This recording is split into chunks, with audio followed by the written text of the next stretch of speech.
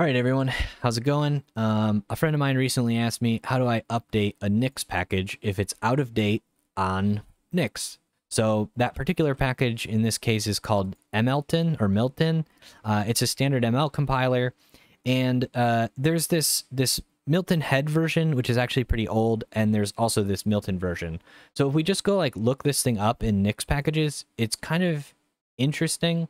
Um, we have this default.nix with a few different variants of this thing.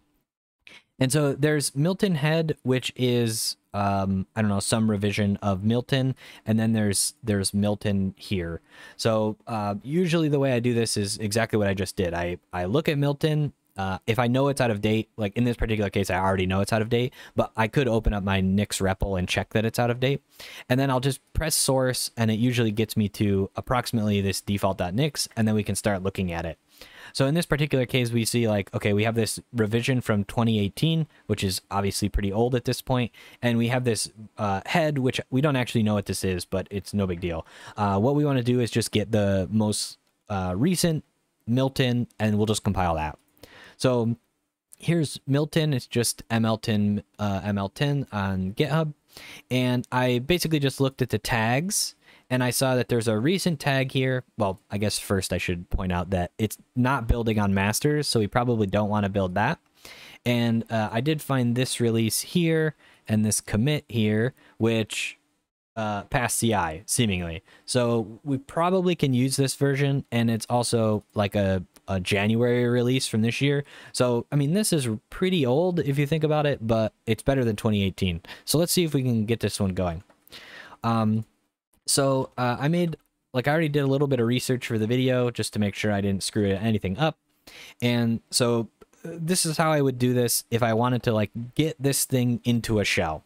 So first things first, we need to be able to get the thing um, from Nix packages so that we can update it, or we just need like to pin our Nix packages. And I've kind of been using uh, Niv for this these days, and so we can initialize Niv with this command. So Nix shell means uh, start a Nix shell with this um, package called Niv, uh, which is the tool we're using, and then we can run this command niv init, and then dash b uh, Nix package unstable means go get the branch Nix packages unstable. So we just run this thing, and I've already ran this earlier, so most of these things should be pretty quick, but you'll see some issues uh, depending on what you're doing. Um, why do I use Niv to do this? Uh, the reason I use Niv is because I always forget how to pin Nix packages, and this will just do it for me. So I don't really need to think that carefully about it.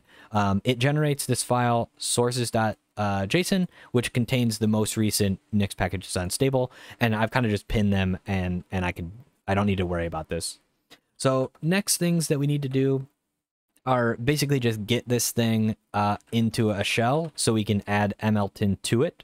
So we'll just open up shell.nix and I kind of just know how to do this now, but uh, it takes a little bit to get used to. So with Niv, basically you need to import your sources. So that comes from Nix, sources.nix. Then we need our packages, which we import from our sources, Nix packages. And this one you need to like run. So this is saying like run sources Nix packages with no input. And then what we need to do is we're going to packages, make a shell, and that shell needs build inputs of something. So here is where we're to end up putting um, Milton, but we don't have it yet. So we can just start like a literal empty Nix shell. And this, in theory, should compile. I'm pretty sure it's right. Um, the other thing I like to do is, well, I'll show you again. Um, again, repetition is kind of key here. If I run this Nix shell, you'll see I switch shells. So I go from fish to bash. And I don't know, my, my favorite, or right now, the easiest way to do that is just to create, uh, or use direnv and just let that go. So we'll direnv allow, and then now we're in a Nix shell. Uh, again, I'll just keep like hammering these things in. If you see on pure here, you're inside of a Nix shell. So we're in a Nix shell with no tools. We don't actually need any tools at the moment. We're just gonna, um, yeah, uh, Nix shell in here. If it's impure, we're good to go. So the next step is we need to like bring in the pieces of Milton that we need, uh, the Nix related stuff. So we don't need this default. Uh, what we need to do is basically copy this MLTON head thing and then replace it with the pieces we need. So that means we need to get this from uh, git source bit, which turns out to be in the same directory, which is nice. So let's just go get this. Uh, for some reason, I have to press that three times. So we just copy this and uh, wget it. And then we'll move the from this to Nix milton.nix. I don't really see a point in calling it from git source in this particular case, so we'll just call it milton.nix. Okay, then in our shell.nix, we can just like import this thing and modify it. So we will uh, packages call package. So again, I'm just like copying the code here. Uh, actually, I could literally copy it just so it's it's clear. Um, so we'll grab default.nix. We'll grab this bit right here and we'll literally just copy it in because like uh, the point is we should be able to do this very quickly. So uh, this Milton Bootstrap thing is part of Nix packages. So let me just quickly show you that as well. Oops, uh, wrong thing. I wanted that one. Uh, so if we do Nix, um, Nix REPL, we can load these sources from our Nix REPL. So we're inside the same directory and we can just like poke around with this stuff. So we can just, again, I, am just going to copy and paste stuff. I'm doing this very uh, non-interestingly. Um, so now that we have packages, we need to find this Milton binary. It turns out that we can like just find it here. So it's actually no big deal. We can just replace this with uh, packages and it'll just get us to this Milton binary. I don't exactly know what this is doing. I'm not a standard ML person, um, but anyway, like we can just include this thing, no big deal. Um, I don't see any reason for us to call it head. It's not head, uh, so we'll just call it Milton. And then now we just need to replace this stuff. So let's do that. Um, first things first, we need to go grab the commit hash that we saw over here. So our commit hash is here. So we just grab that. Uh, so there's our revision. We also need that version, which was just the tag, I guess. Uh, we can probably call it whatever we want, but I suppose the tag makes the most sense. And now this is where the usually the problem ensues. Um, th this this SHA is not correct for this revision. So one thing we can do, and th this feels like we can just leave this here, but I want to show you one thing that I uh, always forget exists, but is pretty useful. So if we write packages lib fake SHA 256 we can use this to just like fill in an empty uh, SHA and then it will complain and then we can fix it later. And the other thing we have to do is add Milton here. So this Milton is that Milton right there. It's not the um, the call package piece. Oh, also I need to update this because this is not correct. Uh, Milton. Okay. And that's not correct either. There we go. So we have our Milton Bootstrap, we have our version, we have our revision, and we have this fake SHA 256, and then we include Milton in our shell. So if we do this, um, oh, I made a mistake.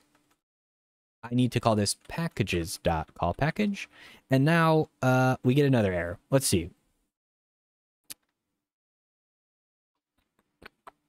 This didn't happen a minute ago which is pretty interesting.